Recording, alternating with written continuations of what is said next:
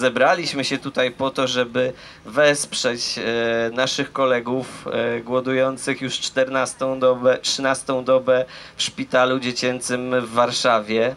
E, Chcieliśmy w ten sposób im pokazać, że dziękujemy im za ich tytaniczną pracę, którą tam wykonują.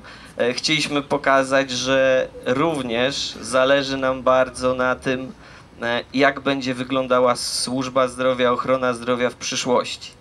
E, Oni tam walczą tak naprawdę o nas. Walczą o pacjentów, e, walczą o tego wkurzonego pacjenta, który trzeci miesiąc siedzi w kolejce do specjalisty, a jak się w końcu dostanie, to i tak nie ma pewności, czy dostanie najnowsze leki. Walczą o nas lekarzy w końcu. E, m, e, walczą o tego wkurzonego doktora, który 14 dobę w miesiącu siedzi na dyżurze. Koniec miesiąca jeszcze nie za bliski, a jeszcze dwa zostały. Więc e, dlatego jesteśmy tu, dlatego będziemy ich wspomagać.